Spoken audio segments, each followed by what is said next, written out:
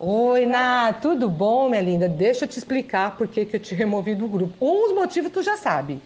O outro motivo, com certeza você não sabe, né?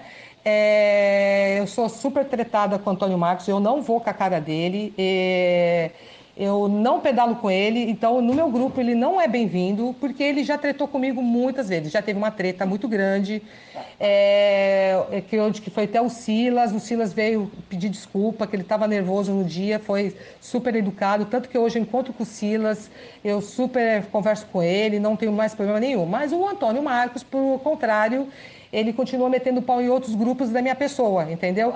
Pedal que nem tinha, nem estava envolvido, ele vai lá, ah, porque tinha que ser a goiaba, que boca de encrenca, que arruma encrenca com todo mundo. Fora isso, quando ele estava no ZN também, nós fizemos um, um, pedal, bom, nós fizemos um pedal de reconhecimento, e aí um dos integrantes estava nesse aí, tirou foto, ah, o pedal secreto, sempre zoando com a minha cara, sempre. E nunca foi homem suficiente de falar, ó, oh, oh, Fabi, nós, nós tivemos um atrito, ou nós tivemos alguma coisa, desculpa, eu também pediria, pediria desculpa para ele, com certeza. Não, ele sempre me provoca, ele sempre dá olhar pra minha cara, sempre dá risada, e até um dia que eu falei assim, meu, a próxima vez que esse cara olhar pra minha cara, eu vou dar um soco na cara dele, porque ou ele pensa que eu sou boba, ou ele se faz de bobo, entendeu? Enfim, e outra coisa, é, ele não quer que as pessoas, principalmente agora que você está namorando com ele, que eu vi, é, ele não quer que você pedale com as goiabas nem com a minha pessoa, tá? Porque ele estava namorando com a Silvinha e ele falou, um dos motivos que ele falou para a Silvinha que não queria que ele pedalasse, é, disfarçou, disfarçou,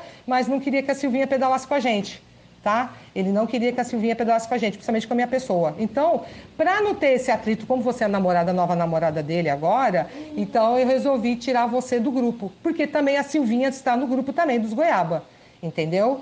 Então eu achei assim, para não ter é, confusão, e você também vai ser proibida de pedalar nos Goiabas por ele, entendeu? Eu falei assim, para não ficar chato para Ná e também para Silvinha, então eu falei assim, como a Ana não vai poder pedalar com a gente, eu adorei te conhecer, não tenho nada contra as pessoas, a hora que você quiser pedalar, não tem problema. Aí eu resolvi tirar você, entendeu? Por isso que eu te, removi o grupo, você do grupo, porque você não vai pedalar com os goiaba. Por causa, um dos motivos é por causa dele, né?